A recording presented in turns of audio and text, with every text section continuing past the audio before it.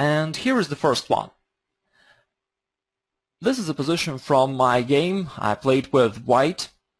And right now, this is a pretty common and standard position.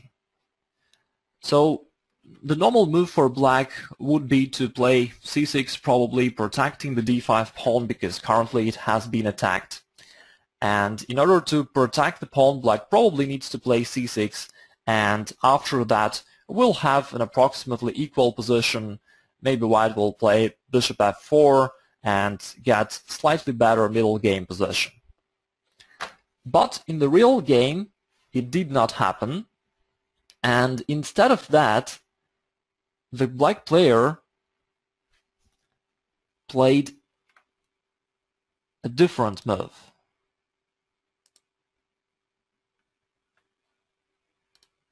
So let's come back to the actual game.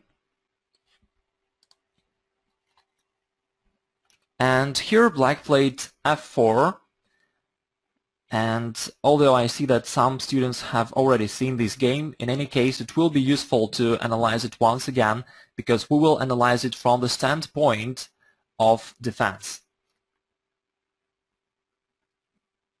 Okay, so black just played f4 and this is a little bit tricky idea because black is going to start that attack against white's kingside.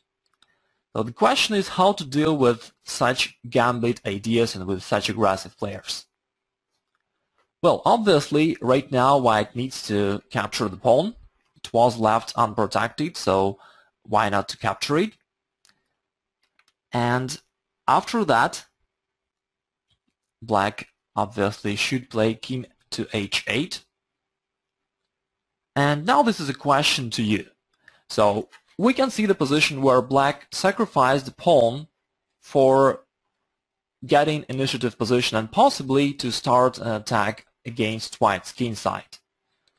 Potentially black can play f3 trying to break through there and destroy the white's castle or maybe bring more pieces to the kingside with queen to h4 or maybe play bishop c6 bringing another piece into play. So black has a couple of things to do.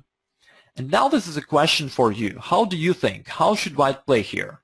So please, in the chat area, let me know your opinion about that. How would you play here as white? And after that, we will start analyzing your ideas.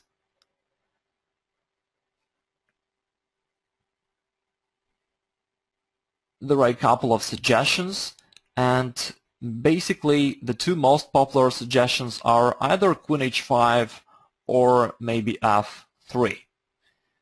Okay, let's let's give it a try. So queen h5 is a tempting move, that's for sure.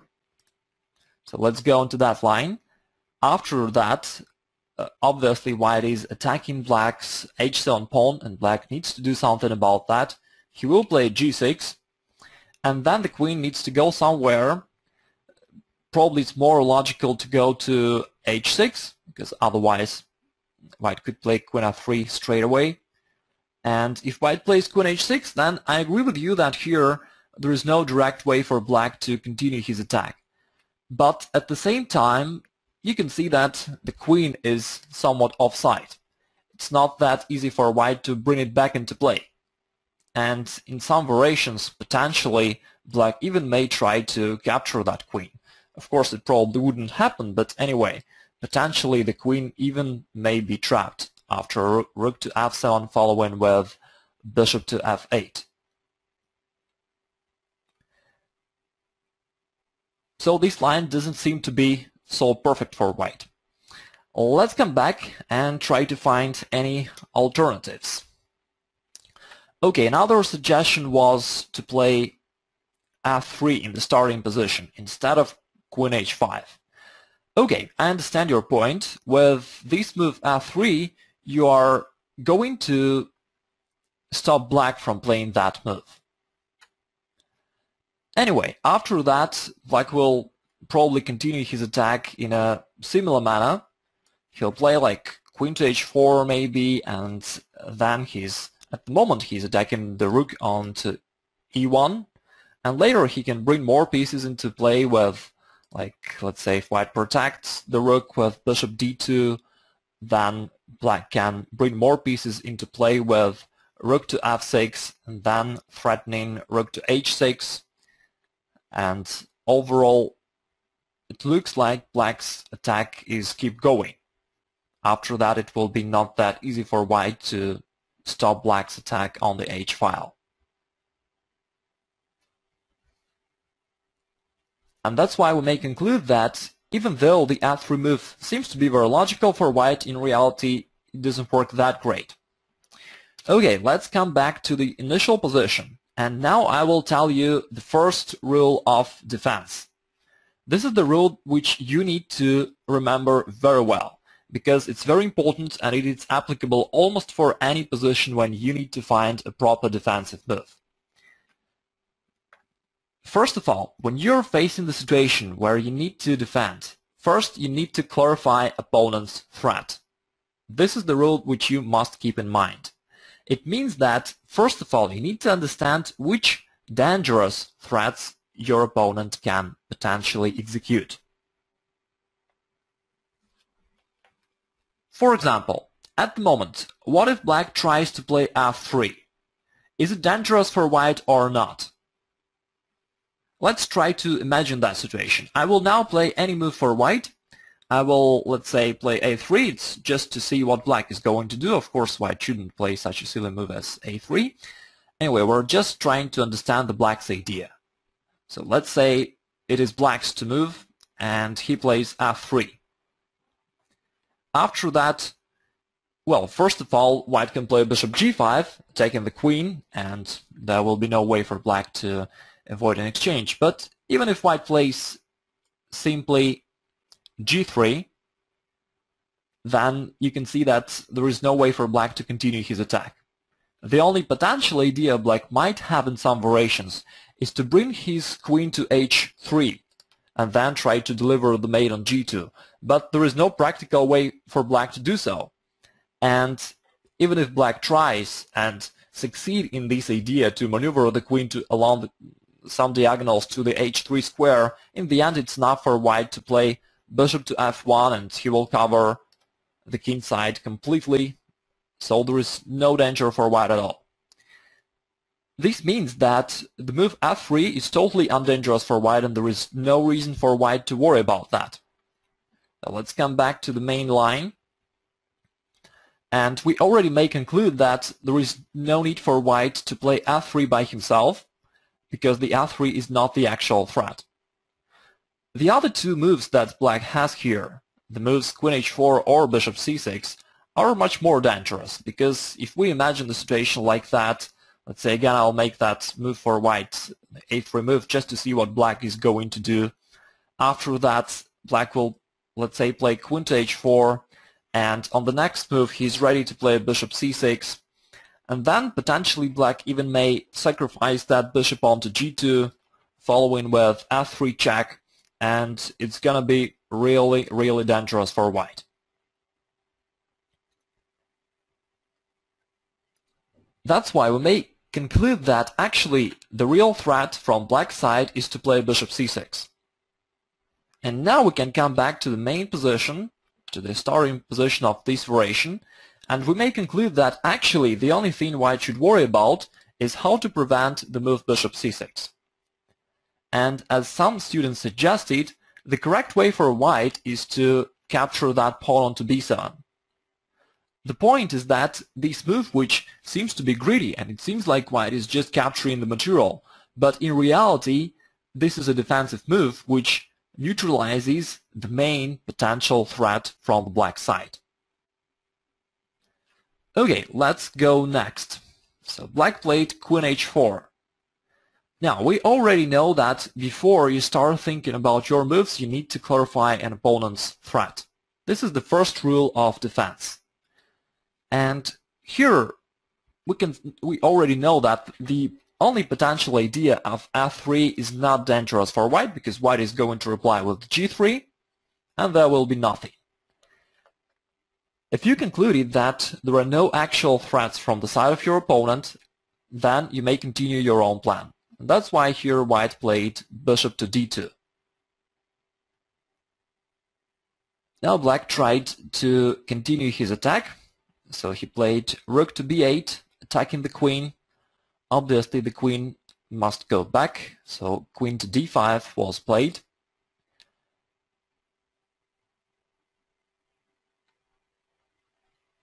Okay, I see that some students asks why not queen to f3. Let's take a look. If white plays queen to f3, it's uh, definitely possible. At the same time, here black can go bishop g4 and it'll force the queen to go to another square anyway. Although I don't say that queen f3 is horribly bad, it doesn't change the situation dramatically, but nevertheless, if black wants, he can force black from force white to remove the queen from that square anyway. Yeah, the one student says that the queen is not a good blocker, and that is true. So white played queen d5 to keep the queen in the game, and black replied with rook to f6. After that, there is the new situation where we need to think what white should do now. Okay, first let's try to realize what black is going to do. If I play anything for white sides, let's say I'll play the move like c4, uh, the move which is quite logical and aggressive, white is going to play c5. Um, in that variation, black will probably continue with rook h6, which was an intention of his previous move. And white is forced to play h3. This is the only move then ideally black would prefer either to sacrifice his bishop onto h3 straight away or maybe to support the sacrifice with some preparation moves first. Um, let's say black may try to like play rook to f8 and then he will create a new potential threat of f3 which may be realized instantly or after uh, the black's capture onto the h3 and now we can notice that all of the black pieces are taking part into his assault on the king side. And this is really, really dangerous. Some student asks, what if black goes with his rook to b6?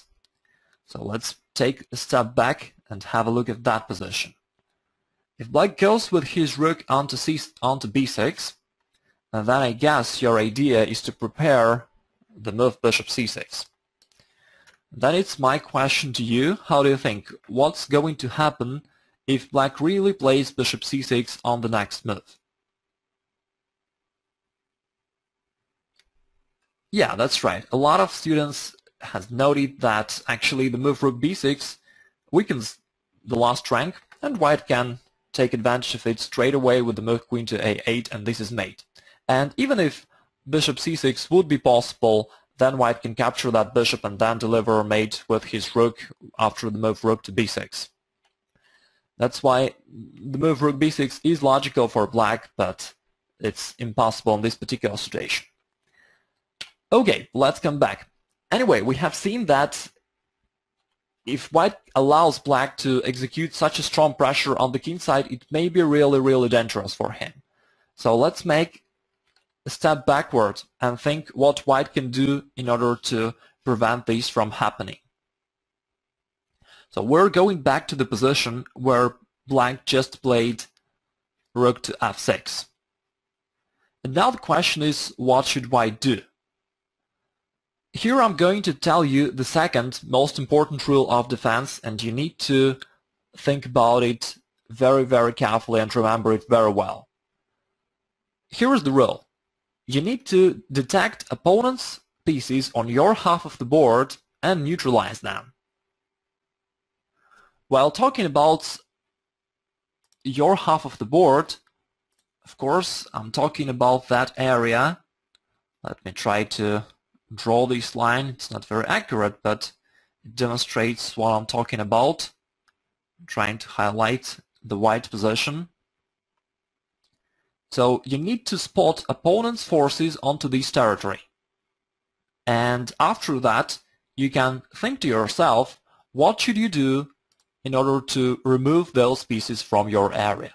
Now this is a question for you. we can see two black pieces on the white's territory.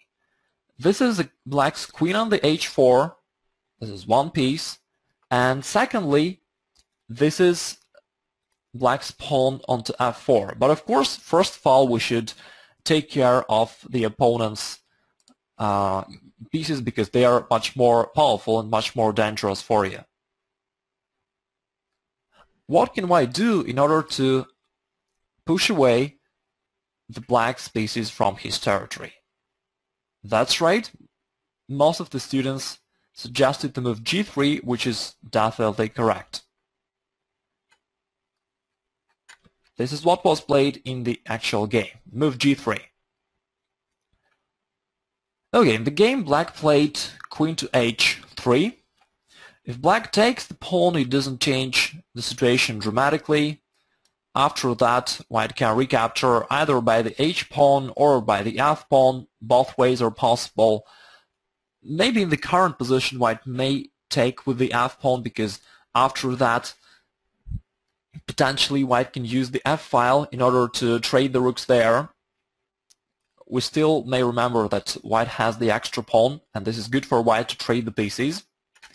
Now let's try to continue the line. Let's say black plays queen to h3. And now this is my question to you once again. How would you play here as white?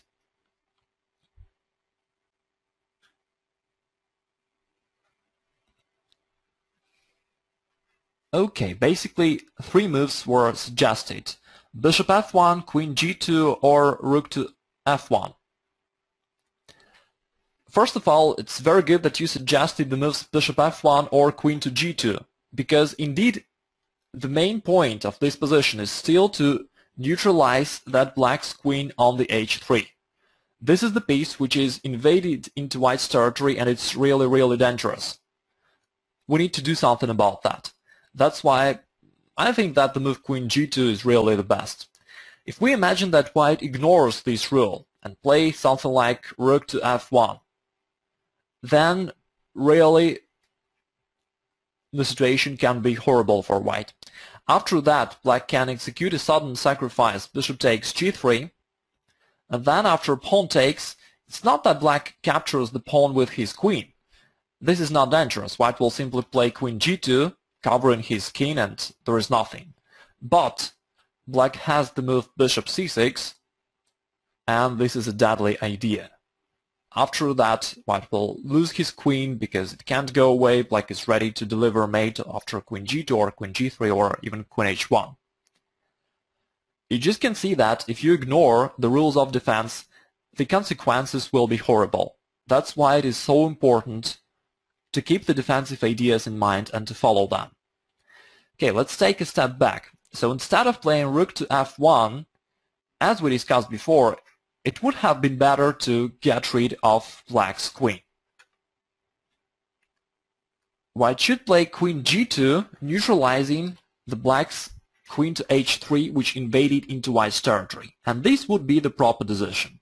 After that, the white's position is secure. There is nothing black can do really and white will then continue either to push his pawns in the center with let's say c4 c5 or playing rook f1 and things are good for white. Um, actually I'm not saying that this variation is the only possible solution for white. There can be a few possible moves.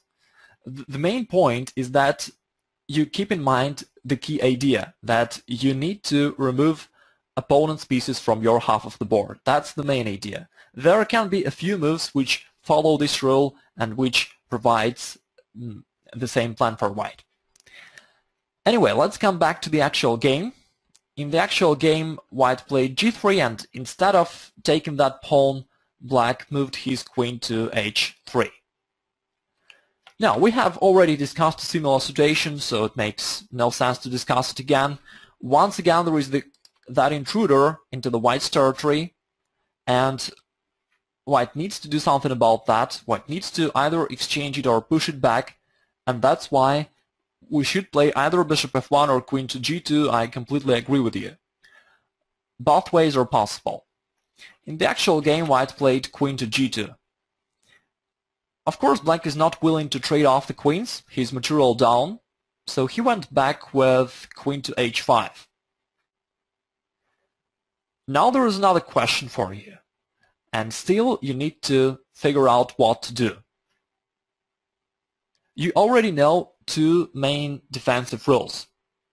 The first rule, you should clarify the opponent's threat. Ask yourself the question, what would black do if it would be his turn right now? Which attacking moves he can play, and whether it would be really dangerous for you or not. It's important to highlight the fact that we need to pay attention only to the really dangerous moves, not just any attacking move that he may have. For example, black has the move bishop to h3, but okay, it doesn't make a big difference. White can play queen to e4, and it doesn't really help black to execute his attack. The other idea which black has, the move f3, would be much more unpleasant for white, because after that, the white's queen is very limited on its position. If it goes to h1 in the corner, then it's really misplaced, completely out of game. If it white goes queen to f1, then it may be even trapped surprisingly with the move bishop h3 on the next move. And therefore we may conclude that the only real threat that which black has here is the move f3. So now we have spotted the actual threat. The only actual threat that black has is to advance his pawn to f3 and attack white. Okay, after you have realized the opponent's threat, you may start thinking about the ways to neutralize it. And also, you may keep in mind the second rule, which states that if there is an opponent's piece on your half of the board, you should make your best to get rid of it. You can either exchange it or force it to go away.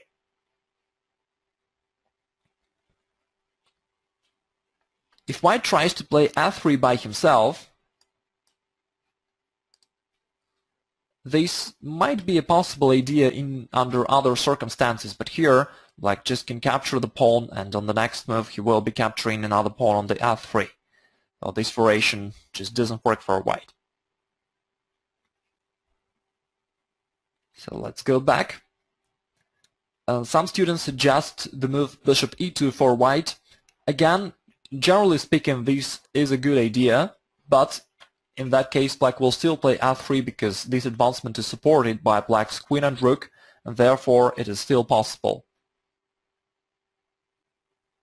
Yeah, that's right. Now I see that most of the students suggests to capture the pawn on f4, and this is very good. Actually, both ways are good. White can either take with a bishop or with a pawn. And both ways are good. Again, you just need to keep in mind the main idea. So in the game, white took with a pawn, and also it puts a little trap for black. If black now inaccurately recaptures the pawn with the move bishop f4, then instead of taking the bishop now, white has a much better option. Can you see it?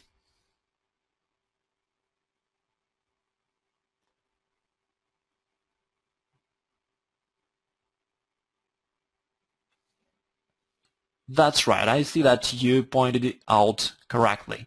White is going to play rook e7 instead. And after that, white will be attacking both the g7 square and the bishop onto d7, while the black's bishop onto f4 is still hanging, and all in all, this is really, really bad. Black can't play rook g6, uh, attacking the white's queen because this square is controlled by the white's bishop. And therefore, black will currently be in a serious trouble. Well, I'm not saying that white is winning, black can keep his position, but white is still a pawn up, and if white can push the black pieces back and exchange them, he will end up with an extra pawn in an endgame and it will probably be winning for white. Therefore, black does not want to go the position like that. Oh, that's right. Actually, one student says that after g takes f4, white already like yeah has a couple of extra pawns. That that is correct. That's why bishop f4 is actually impossible for black. And in the actual game, instead of that, he played the move bishop to g4. He's probably going to play bishop f3 or maybe something else. Okay, let's again recollect the main rule of defense. We need to ask ourselves what is the opponent's attacking idea and whether this is dangerous or not. This is the key moment. You're not just trying to detect the opponent's aggressive moves. There are a lot of them. But you need to focus only on the moves that are really dangerous for you. That's the key. Because if opponent's attacking move doesn't really make any damage for you, then there is no reason for you to defend against it.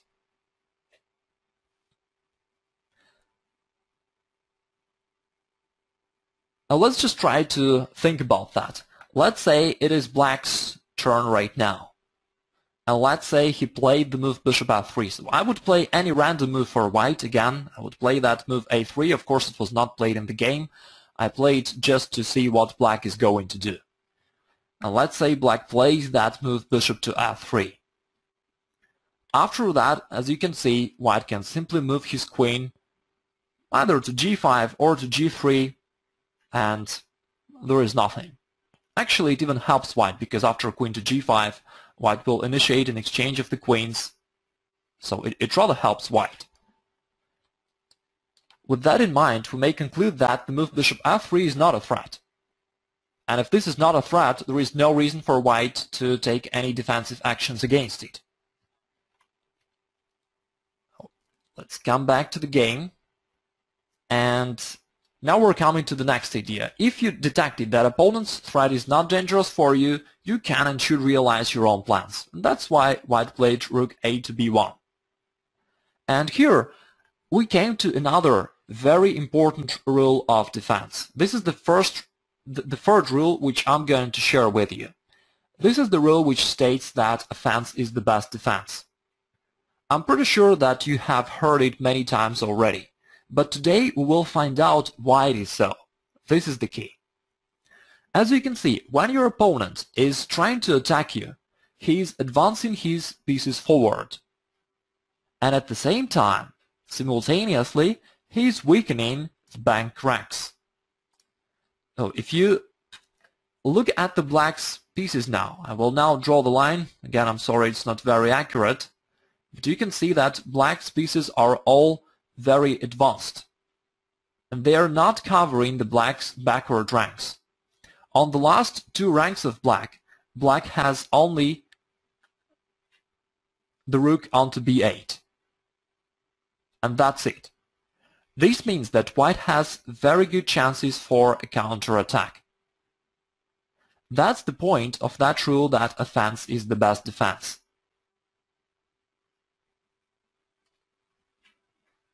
Okay, now I will remove my drawing and will continue the game.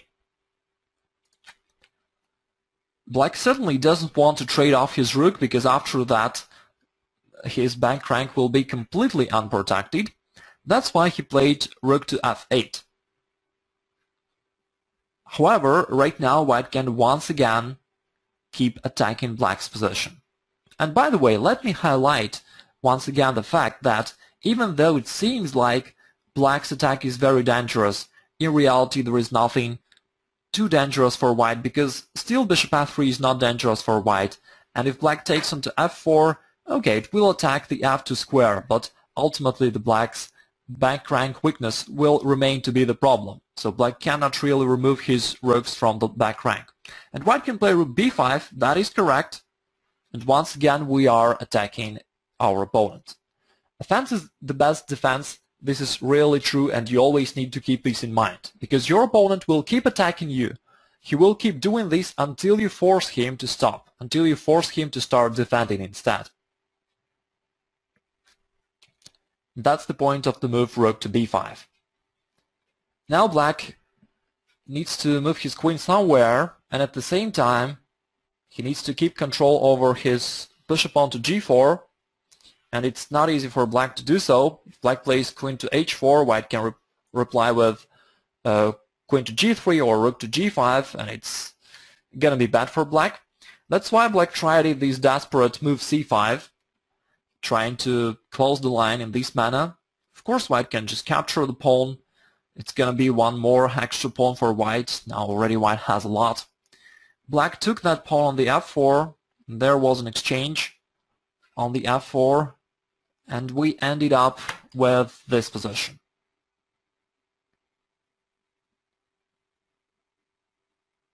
Okay, now I'm going to ask you the same question once again. What would you do here if you are playing white? I see that most of the students suggest the move c6. Indeed, this is a very good idea. I agree with you. It would attack the black's queen, would probably force him to go back, so c6 is one very good option. But before we come to the white's ideas, let's just try to realize what black is going to do. And if black has any threats actually. For example, here's the question. Is black really threatening to take rook to f2?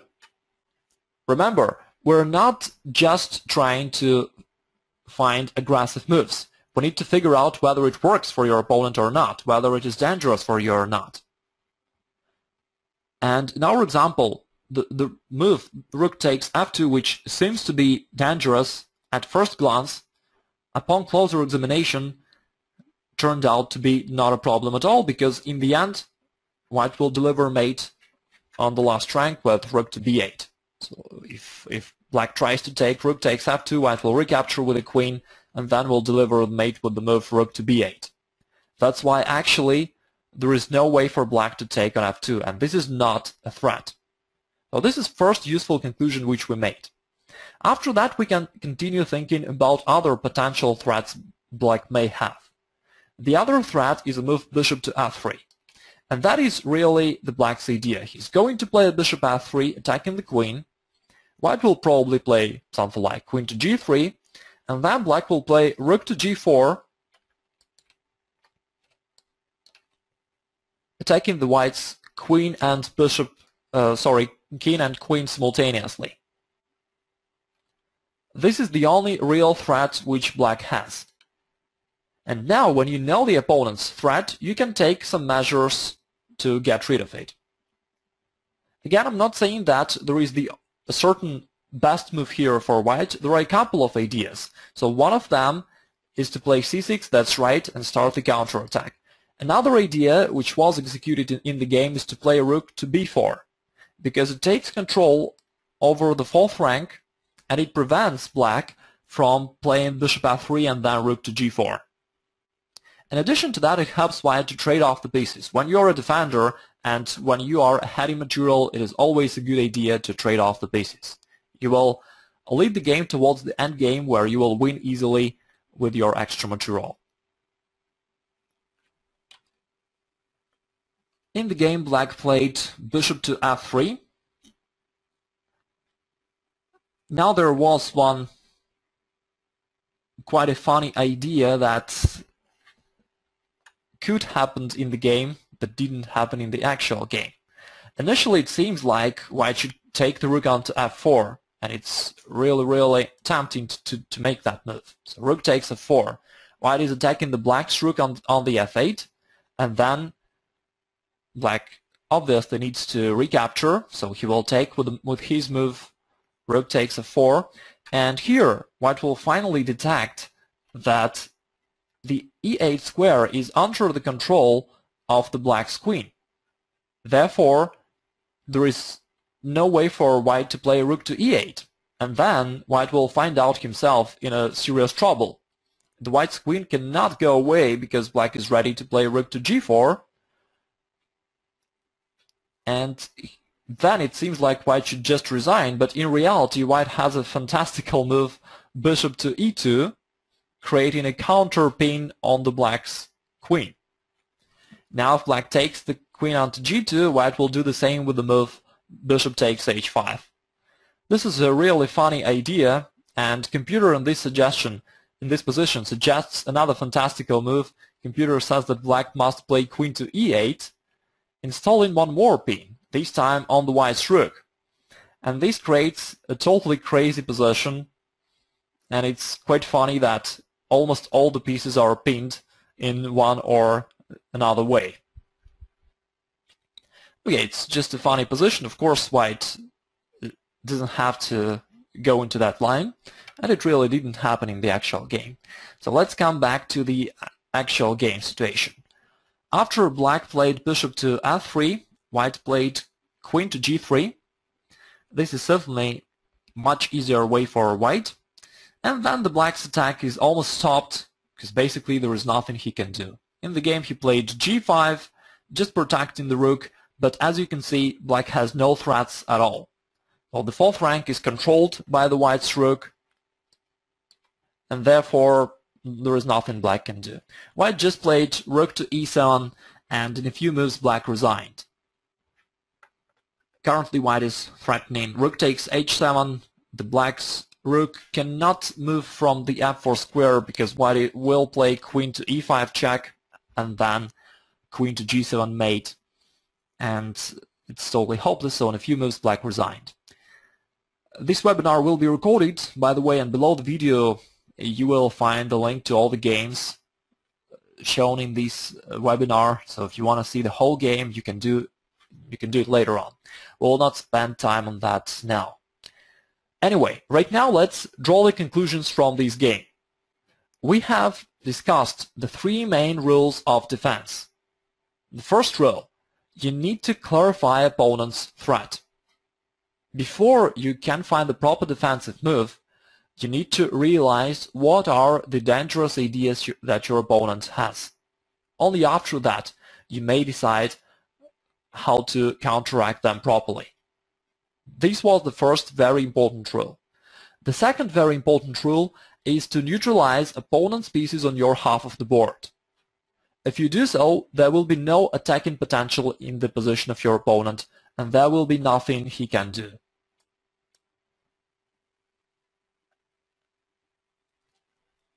And the third rule is that offense is the best defense. While trying to attack, your opponent moves his pieces forward and simultaneously he's weakening his back ranks.